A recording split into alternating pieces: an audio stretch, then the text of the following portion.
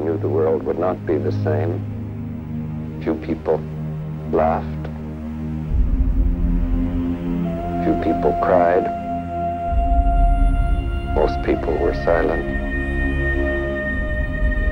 I remembered the line from the Hindu scripture, the Bhagavad Gita.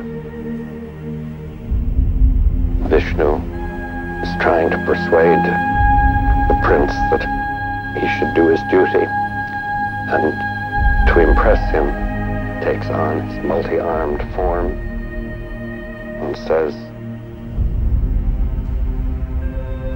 Now I am become death, the destroyer of worlds. I suppose we all thought that one way or another.